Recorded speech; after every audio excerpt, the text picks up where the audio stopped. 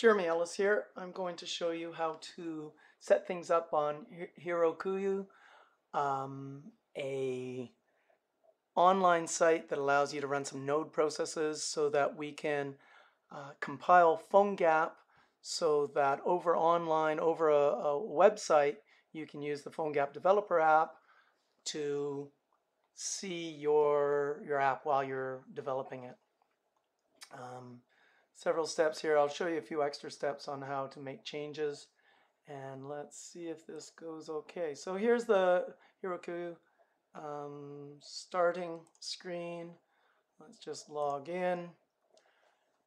Now, the nice thing about this login screen here is if you had no apps, it gives you some of the steps, but I'm going to go into a little more depth. I, I did this yesterday.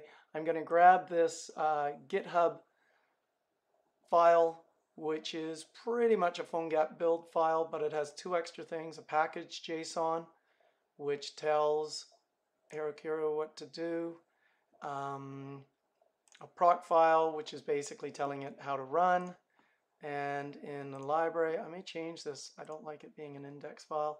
This is the code that uh, Node is running. So let's see what we can do here. We're logged in. Um, this is Git PowerShell, and these are the steps we're going to do. So let's slow it down a little bit here. We're going to try to log in. Maybe a good idea to do the right password. Okay, sorry about that. So first step, oh, okay, we've logged in.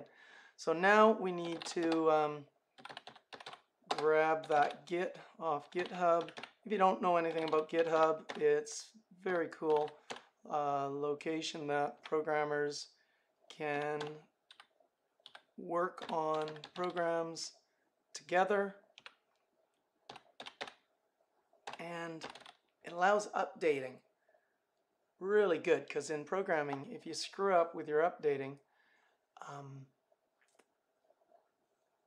you sometimes don't know what the screw up was. Whereas in github you can go back to how it was before so I'm just going to do a directory here, dir directory command.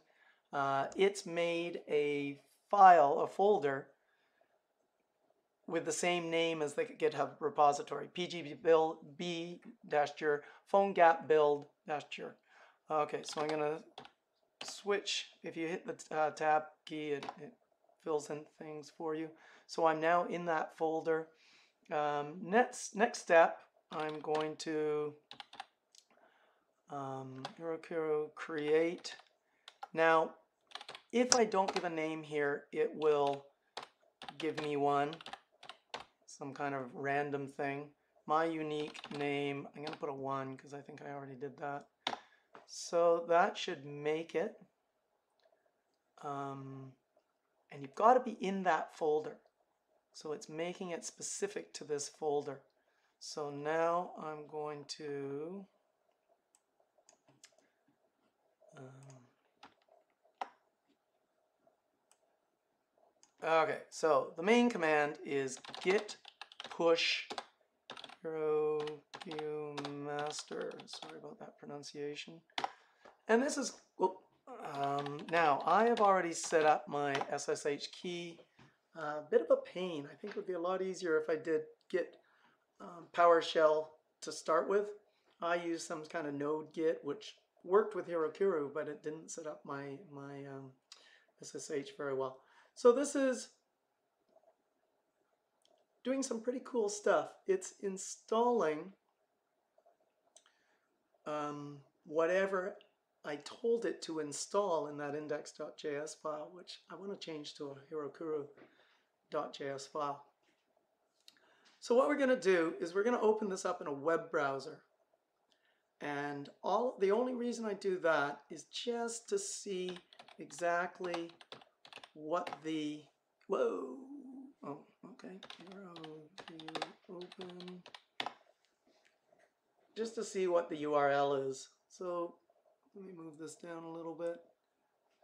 Uh, why isn't it not moving down? If for some reason my page would move down, um, you can see that it's doing some weird stuff. That's pretty much what happens when it goes to the app developer.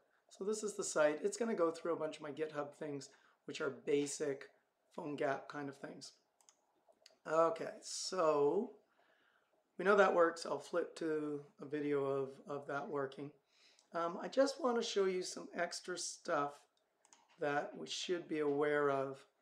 Uh, let's go back. Where's the one I just did? My stuff, PGB. Okay, so this is the main area. We've got our package in that. There's my WW file. And here's my index file.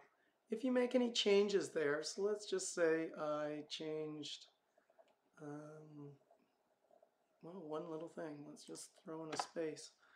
File save. Then what I need to do is git add. So git add dot. And I'm really new to GitHub. If I make uh, if I screw up on anything, let's just I'm a total beginner. But let's see if this works. Um, my commit it's just a comment about it. So see, it sort of worked. And then you git push um, hero view master. And it should, oh, password. And it's going to send up that whole thing. Now, on your phone gap, on your app, you don't have to do the Heroku open. You can just refresh your page and it should come up. So looks like it's kind of working. So here I'm in the dashboard. There's my unique name one. By the way, I apologize for this. This seems to be the only way I can do all this stuff. Um, if we go back into this, I okay open. The only reason for doing this is to get the URL which you could probably figure out after a while. So here we go. There's the URL. Notice it's my unique name dot dot app.com. So let's go on to my iPad. Sorry I can't show you on my Android because I'm videoing with it. Um, so it opens up and there, come on phone focus, is my new unique name dot Heroku. Uh, let's connect to it. And it's just a simple hello world thing um, with a whole bunch of different ones. So this is just uh, how to do links and images. Notice a, a, video works on these things. This is on my iOS device. Very impressive to get that from an online. I didn't have to use certificates or anything. Remember, this is for developing.